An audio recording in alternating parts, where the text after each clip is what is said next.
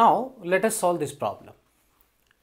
Cos inverse P plus cos inverse Q plus cos inverse R is equal to pi. Then prove that P square plus Q square plus R square plus 2PQR is equal to 1. This problem can be done in two ways. The first method is we can adopt that is transformations method.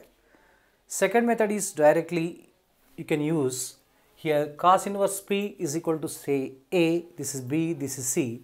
A plus B is equal A plus B plus C is equal to 180. A plus B is equal to pi minus C. Applying cos function on both sides, cos of A plus B is equal to cos 180 minus C. Cos of A plus B is cos A, cos B minus sin A, sin B equals to minus cos C. Here respective cos A, cos B and cos C values in terms of P, Q, R will be written and after prior simplification we get the P square plus Q square plus R square plus 2 PQR is equal to 1. So that means the two kind of strategies may be followed but let us follow the last method what we have discussed. So now let us solve this problem. Let us say cos inverse P equals to A cos A equals to P. Cos inverse Q B the cos B equals to small q. Cos inverse R equals to C. Cos C equals to R. Now this becomes A plus B plus C is equal to pi. A plus B equals to we can write pi minus C. Am I correct? Apply cosine function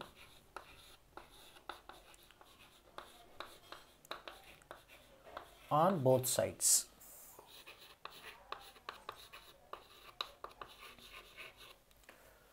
So let us apply the cosine function on both sides. We get cos of a plus b equals to cos of pi minus c.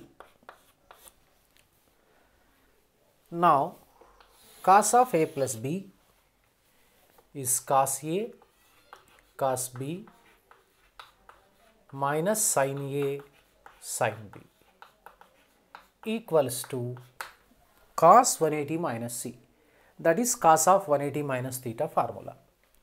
See the cos of 180 minus theta equals to minus cos theta. It is very very important result. So we can write minus cos c. So let us replace respective values. Already we know cos a is equal to p, cos b q. So cos c r but sin a sin b. As we know the cos value, sin a also we can write. Here see that can be written like this see sin A is equal to root of 1 minus cos square A. So that is nothing but root of 1 minus P square. In terms of P you can express sin A. Even in the similar pattern sin B is equal to root of 1 minus cos square B. Here we can write root of 1 minus q square. Let us replace respective values of sin A, sin B, cos A, cos B and cos C values. So, we get PQ minus root of 1 minus P square into root of 1 minus Q square equal to minus R. Transpose minus R this side and this value right hand side. We get PQ plus R is equal to root of 1 minus p square into root of 1 minus q square. So, in order to simplify further, it had better to square on both sides. That means squaring on both sides. Squaring on both sides. So, now it becomes like this pq plus r whole square equals to root of 1 minus p square into root of 1 minus q square whole square.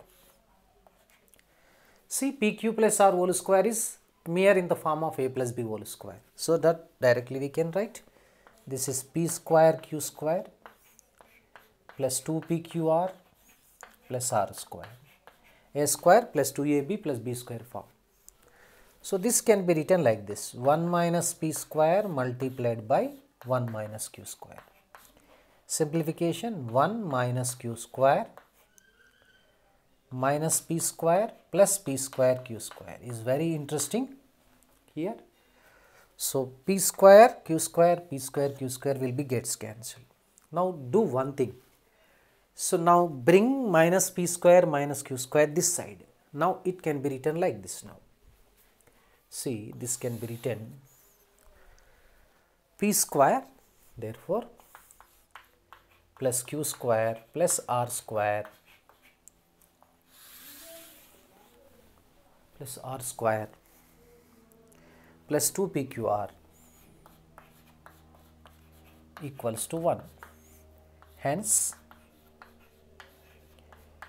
it is proved. So, if you wish, you can try other methods also. You can adopt other methods.